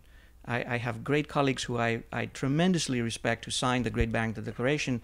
I have other colleagues who I also tremendously respect who, who signed the John Snow Memorandum. And I, I think, honestly, if you look at uh, what they have published, they agree in many, many things, Right. even though it seems as if they disagree on everything. There is a disagreement on lockdown issues. And of course, I'm on the side that uh, draconian lockdowns are doing a lot of harm, and we can achieve equal or even more benefits with more targeted measures. But you're right that instead of debating scientifically, instead of just looking at data and exchanging information, it, it became very highly polarized and it became like a reputation war that uh, oh, oh, these people are bad people and this is why they they're telling us this. Uh, and and obviously that that was very detrimental for science. It, it was detrimental for all of us. It was detrimental for public health. This is not the way to make progress. The, the, there's no way that you will gain something by discrediting colleagues uh, no matter what they say especially in a rapidly moving frontier. Uh, and uh, I'm, I'm probably one of the most fierce proponents of declaring conflicts of interest. of but course. that was not an issue of conflicts of interest. I know. That's what I Uh, so I, I think very it's very important to to avoid displacing scientific debates into uh, something like uh, an arena, uh, a Roman arena for uh, for gladiators uh, and and a, a smearing arena. Um, it it just hurts everyone. And I, I feel very sorry that the smearing has gone on throughout the pandemic as an antidote to scientific curiosity. You know, kind of kind of diminishing scientific curiosity and scientific questioning with smearing. Let's with, talk about with, that for uh, a second. uh, with with just uh, annihilating your opponents Mm-hmm. in a way. I just, I guess, I want to say one thing. I also, I also didn't sign both, and you know, I, I didn't sign both because the GBD didn't quite have what I wanted in there. I wanted some more, you know, calls to provide resources for people who are vulnerable and who still had to go to work. John Snow didn't have what I wanted in there, and it also had some things that I raised an eyebrow to, which was claims about durability of having had SARS-CoV-2 and recovered from SARS-CoV-2, which they sort of dismissed. So I didn't have what I wanted there. But the point about smearing that I want to come to is that I think people do recognize that some people are smeared, and they're writing articles about scientists who have been smeared or attacked. But even in those articles, they're one sided. So let me point out. So I believe that all the smearing is bad. If the public health official makes you wear a mask, even if you think it doesn't work, you shouldn't give them a death threat. That's not appropriate. You just have to live with this the mask, and you know, okay. Um, and I actually am very, have been very critical, and I wrote an Atlantic piece saying that I just don't think we should be doing it for young kids. I think there's no data, and it contradicts the World Health Organization and UNICEF guidance. So I used, I used to think they were credible sources, but apparently, you know, okay. So I don't think, you know, but I got a lot of heat for that. I, okay. So, but even if they were to recommend that, I don't believe that they should get a death threat, even though I disagree with them. I'm not going to give it. Okay. So I think there are lots of people on that side, uh, the zero COVID people. I don't know. Um, maybe event. I don't know if they still believe in zero. co- I think they do. they want to kill all the deer or whatever you need to do to get to zero. Kill all the deer and kill all the cats and kill, you know, whatever you need to do, get us to zero. But, you know, I disagree with them, but they should not be attacked or smeared. Um, there are also people on the other side, you know, people who've, who've signed GBD who have been, uh, you know, yourself and many others, and you have been smeared and attacked and received death threats and similar. And the hostility blows both ways for both for people who've taken both sides of this issue. But when I read articles like the article in Nature that covers who are the victims of the smearing, they only ever talk about the victims on the one side of the issue, not the victims on the other side. And so they just don't see what they're doing, which is that if you want to be fair, you need to say that yes, there are going to be people who hold different positions, and I don't believe you should be smeared even when I disagree with you, and you shouldn't believe that John should be smeared just because you disagree with him. Smearing is is bad no matter what. Yeah. And and personally, I'm interested to protect more those people who disagree with me. You know, th- those people who agree with me uh, will will manage. but I, I really feel horrible when I see people who disagree with me get smeared. And uh, to to those who are smearing them, I can only say, if you want to smear someone, please smear me instead, instead of my opponents. I, it would make me feel better, uh, because I, I feel it's very unfair for everyone. It's very unfair for I mean, everyone. the people it's most unfair to are the people who don't speak up because they see it. I, I think that we have eliminated the vast majority of scientists from from these Commenting, debates, yeah. because they just don't want to deal with this mess. Well, I think they say that if they can attack you in such a nasty way, you who, you have yeah. published more papers than anyone, you know, or you know, one of the most cited scientists, um, who's known for being very thoughtful. If they can attack you in this way, w- they could just rip me to shreds. I think I've heard from many, many people who are amazing scientists that they just walked away. You know, they, they said COVID 19 is not what I'm going to deal with. Uh, there's so many other things to, to work on. Or even if they work on COVID 19, they pick uh, and choose some topics that would be as uh, low risk as possible. Al- Although that's sometimes uh, not so easy to predict uh, Yeah, no. what will become high risk. You know, once you have a politician say something about uh, anything, then it can very easily become high risk uh, overnight. Right. And suddenly find yourself that which party do I belong to? Right. I didn't know about that. Right. You know, there's a very interesting paper out now. Just, I guess this is this is a non-COVID point, but um, you know, Brian Nosek has finally published the replication effort for the cancer studies Yeah. in eLife. Uh, and this is something that you know you're maybe 15 years ahead of everybody on this, which was that you recognized very early on that in an environment of human beings where, um, as a scientist, there are many things you pursue, and one is the truth but you also pursue your, your career. And a career in science is driven by discovery. I'm the person who discovered this, and this is important, and this is new, and this is good. Um, and in such an environment, if you pair that with, you know, low power, power failure, you pair that with multiple hypothesis testing, no pre registration, the ability to pick and choose what results you present and when you present them, how you present them, how you frame them, uh, you're going to get an environment with a widespread deluge of false results, with a tiny fraction being true and a tiny fraction of that being useful. And you know, you've you outlined that all very nicely in your in the paper you're most famous for. Um, and now, of course, we're finally seeing you know, we've had reproducibility efforts in psych- psychological science, um, and we've had um, reproducibility efforts in different domains, and now finally in the cancer biology. And I had a chance to look through the data, and it is it's devastating. I mean, I think that there's no way to sugarcoat it. Uh, people will downplay it just like they did with psychology, but why is it so devastating? These are the creme de la creme of biomedical literature, the top research findings. When they claimed they had a null result, actually about 70, 80% of the time it was null in replication. Okay, so when you claim I'm not, I'm nothing special, Yeah. I am nothing Yeah. special. But when you claim I found something new, maybe in different estimates, it ranged from something like 20% to maybe 60%, but around 40% were really reproducible, that it was true in the same direction and significant, and you actually found something. The most were not true. And these are the best studies by the best laboratories. Now, I think some people will claim that, well, you know, the, re- the reproducibility effort, it didn't have enough power. Well, it usually had much more power. Um, it, Well, we, they changed the reagents. Well, they got the original investigator to agree to those reagent changes.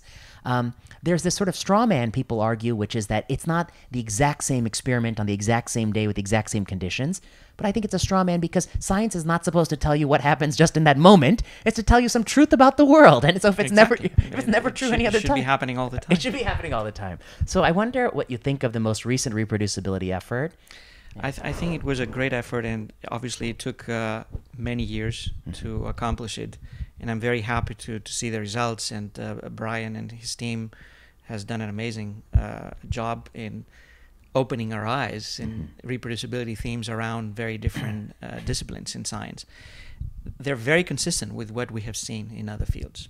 So the the rates of reproducibility are probably very consistent with psychology, even though psychology and cancer research are very, very far apart Mhm. in the universe of uh, bibliometrics uh, or, or science maps.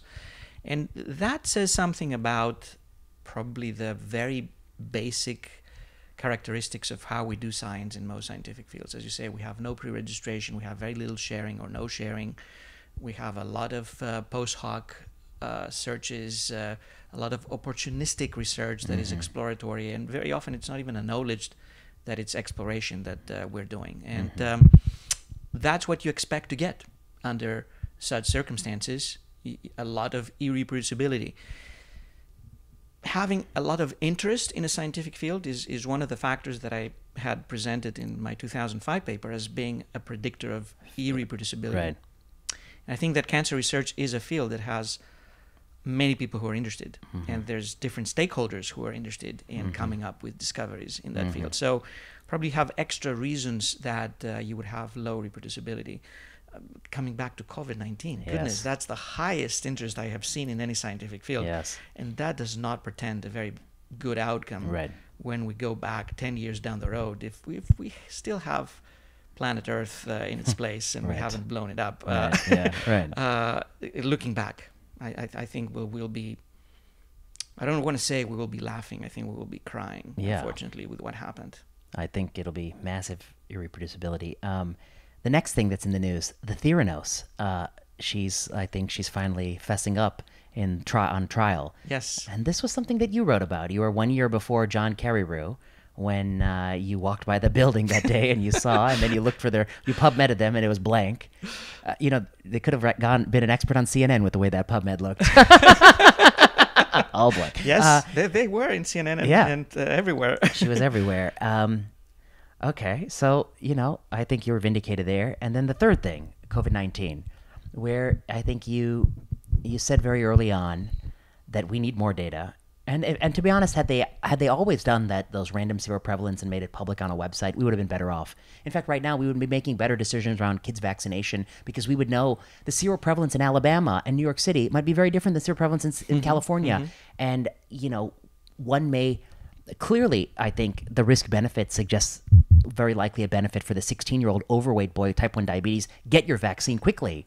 But the six year old uh, who has already had COVID 19 and recovered, you know, healthy, not overweight, had the disease and recovered, I think it's very difficult. And if you knew the seroprevalence in an area, you might be able to, to have an estimate of whether or not it was worth pushing so hard in some area.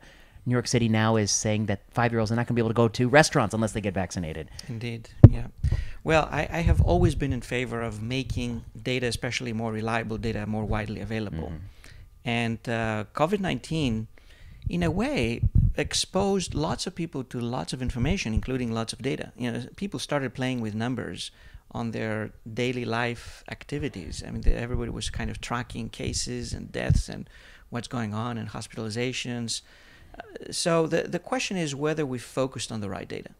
and whether at different points where major decision nodes had to uh, be acted upon, and where we needed massive compliance or, or massive understanding for decision making, for shared decision making. Did we offer the right data? I think that we probably didn't. Mm-hmm. Uh, seroprevalence is one type of uh, information, as you mentioned, that uh, could have been helpful. Most of the time, what I saw was that narratives were pushed that uh, media and authorities tried to make them appear as rock solid. Mm-hmm. And as if if you don't do that, then you you you are crazy, you're an idiot, you're stupid, uh, mm-hmm. you're you're a murderer also right. uh, because you're killing other people. Right. Um, and I, I think that this did not help. It it was a great opportunity for science to to show how powerful it is. We had great successes. Vaccines were an amazing success. I, I don't think that many of us thought that uh, they it would be developed so quickly. So quickly. Mm-hmm. But uh, I, I, think that, that we failed in much of the science communication. And uh, I'm not saying this to blame others, I, I blame myself just as well. I've, I've always struggled to say, well, how can you communicate better uh, under these kind of uh, crazy circumstances? What kind of information can you give? Especially when time is limited, as, as you mm-hmm. say, these mm-hmm. three minute spots but even in lengthier interviews, we, we need to go back and look at our interview and see. Yeah, go oh, play goodness, I, I must have uh, said lots of nonsense. no, I think it was I think it was good, but um, I mean, I'm inter- I'm very interested in that. I could talk to you a long time about that. But I guess the point I was trying to make was, uh, you know, you're right about reproducibility. You were just you were ahead of everybody but they didn't hate you for it. And you were right about, I think, Theranos, but uh, some people hated you for that. um, yep. And COVID 19, I think, in um, largely you were right in a, in a lot of ways um, in that original piece and in your early comments which was we didn't really know what we were getting into with the response and the downstream effects of the response. And I still think we still don't have a good sense of all the damage we have done. But we will see. I think with tuberculosis is going is on the cusp of exploding. Malaria is going to explode. The stories of starvation are going to come out from globally countries that have been dis- just obliterated. And then even within this country, school closure, you're going to get stories of child abuse coming forward. You just have a few now, but more will come. And child abuse, loss of educational outcomes, a generation of kids that they're not going to be uh, reading at the same level as their even their parents or their older brothers did. They're not going to have the same upward mobility. They're going to have lower economic prospects. They're going to be more susceptible to propaganda and propagandists and bad politicians. They're going to vote in erratic ways. We've seen civil strife. We've seen countries on the verge of war, uh, troops on the border right now on the border of Ukraine. Um, you're going to see more disruption. You're going to see uh, the one thing that surprised me was I would have expected the stocks were going to be much worse when they are now, but we've had capital injected in the markets like we I didn't anticipate would be injected. But that has that will lead to a big backlash, which is that um, the the stock market people know that they'll always be bailed out and they're just going to be more and more reckless. We thought they were reckless before 20, 2008. They're going to be more and more reckless. And I think we're going to see a lot of downstream consequences from this. It will likely be the defining event of the 20, this whole century. Um, not the virus, but what we did about the virus. And I think the ways in which science has been treated I, I'm pessimistic. I think I don't think it'll recover. I think there'll be I think it'll be a schism. There'll be two sciences, um, and they'll both be political, unfortunately. And sometimes you'll have to decide which paper you want to publish in one one space or the other space. The Republican journals are you know so I'll publish my mask paper over here, but my cancer drug policy you know those are very left of center ideas on regulations. I have to publish on the other journals. Um, I think we're it's very bad. I don't know I don't know the path out of it. And then the last thing I want to pick your brain on is the anxiety. Um, you know, I think people underestimate how the pandemic affects their mood and their life. And I would just say, I think there's just some simple rules of thumb, which is like, how well do you sleep? Uh, you know, I'm, I'm thankful I sleep. I sleep pretty good. Um, do you still exercise? I'm, I'm asking the listeners to like, ask this about yourself. How, how well do you sleep? Do you still exercise? How do you eat? What, how's your weight been over the last few months? Um, when was the last time you hugged someone? When was the last time you kissed someone? When was the last time you, you felt love in your life? And if the answers to those questions are, you know, there's major differences in how you eat and how you sleep and how you exercise, and you haven't hugged or touched anyone in many, many months, I think maybe you shouldn't be participating in policy dialogues. Like you're not in a good emotional place to do so. But I do think that many people are that way. They are really suffering, and yet the way in which you their outlet for anxiety is pushing for more and more draconian restrictions and policy. Um, so I guess I'm curious your thoughts on what will COVID 19 mean in all this space kind of going forward?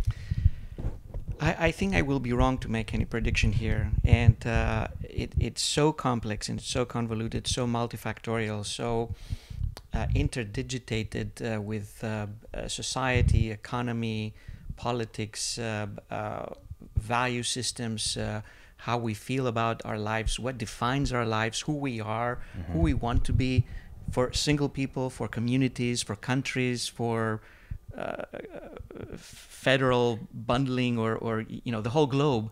So it's uh, it's going to be very difficult to make predictions. But obviously, you have a major perturbation of the system, and uh, before the pandemic, I, I was among the people who liked perturbations. Uh, you know, probably mm-hmm. I had made a reputation of, mm-hmm. of being a maverick and perturbing mm-hmm. uh, equilibria. Mm-hmm. But I, I felt that that was just too much of a perturbation for for the global community to handle. And uh, uh, it was a major threat. The pandemic, the virus was a major threat, which meant that we should do everything in our capacity to reduce the other components of the perturbation.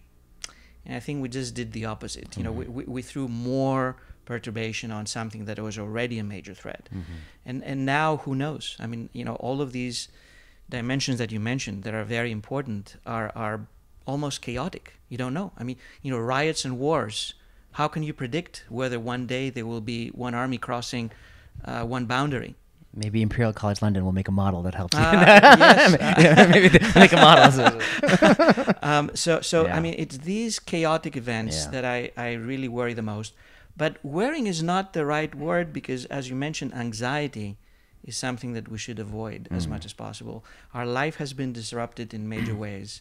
We should try to find some psychological calm and, and some sense of belonging, some sense of of of social cohesiveness and and also love. You mm-hmm. mentioned love. Mm-hmm. You know, just hugging people and and you know how often have you kissed someone in the last two years?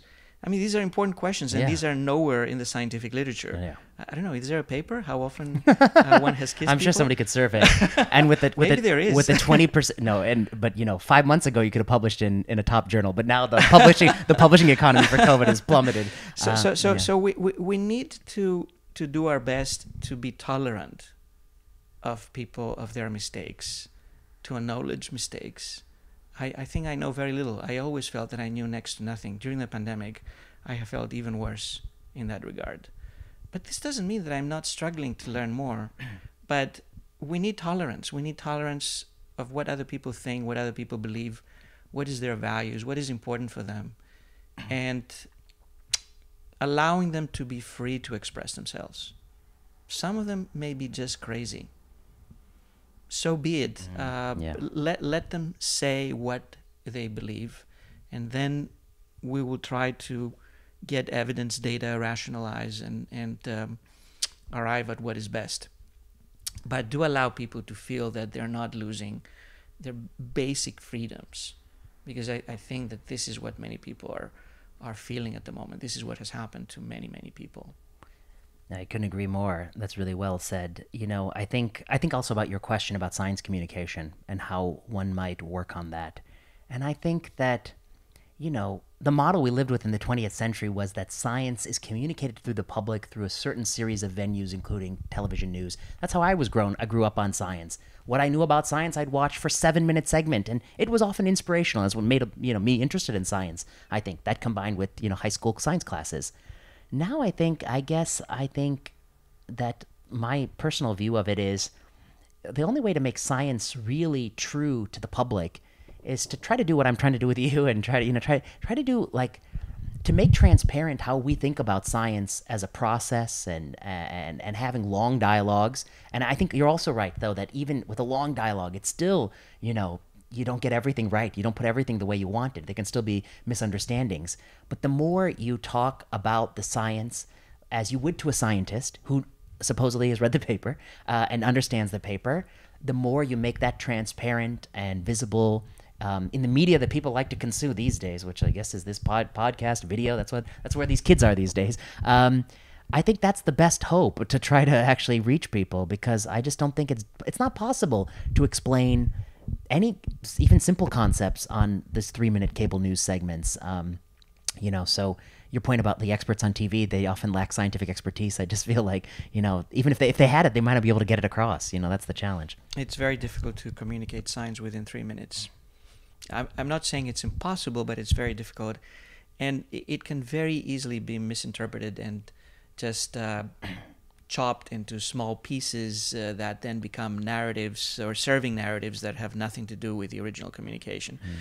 So longer discussions, and especially discussions that allow people to see what is the reasoning and what, what are the nuances and what are the balancing forces, may be better. Mm-hmm. Uh, and uh, it's very difficult, even with this type of setting. But but we have to do it because right now science is in the entire community, and it's being tossed up and down.